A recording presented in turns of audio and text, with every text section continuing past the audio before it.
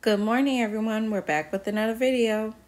So, the reviews for Drake's new album are still coming in. I actually had a chance to listen to it yesterday.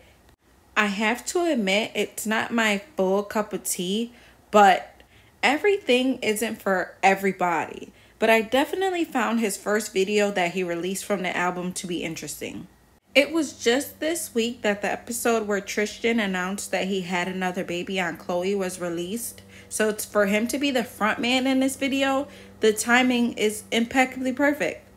Drake had something to say about people that were confused by the sound of his new album. And he also got a co-sign from J. Cole. But I think the point here is that Drake is going to be Drake. And regardless of what one or two people might say on Twitter, he's going to sell because there's going to be someone somewhere that loves this sound. I really wanted something fun, something for the summertime, something for the girls to, you know, get ready and party to. Fresh out of jail, DDG announced that he was having a celebrity boxing match with PNB Rock. Usually I don't get into the celebrity boxing matches. I don't get the point of it. But someone must be buying the tickets because they keep having them. The polls. I know what y'all picked about the polls. But when the queen speaks, the queen speaks. And that's all I'm going to say. And that's all that matters to me. Chloe dropped the video for the song that she announced would be dropping this week. It's a change of pace from Have Mercy and Treat Me. It's very slow and sensual, but it still has a groove to it. I like it. Play with your head.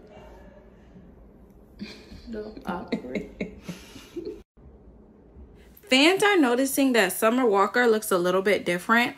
I can admit I see it, but I think it might be just the makeup. This tweet right here caused a lot of publicity for Big Sean and Jhene yesterday. Do I personally believe it? Yes. But do I think after everything that they've been through, they should have opportunity to announce it themselves?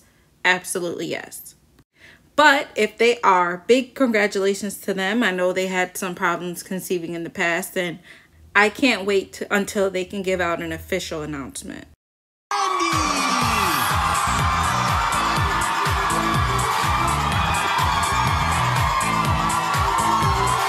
Yesterday, the last Wendy Williams episode ever aired on television.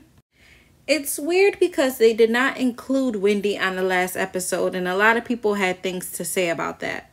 I mean, usually TV hosts that have been on TV for more than a decade get a full send off, and Wendy didn't get hers, but a statement was put out as to why. I think whether you loved her or hated her, she was a staple on TV, and we're all going to miss seeing her. And before we go, I just want to wish a happy birthday to Kendrick Lamar, who dropped his number one album last month. And that's it, guys. See you tomorrow.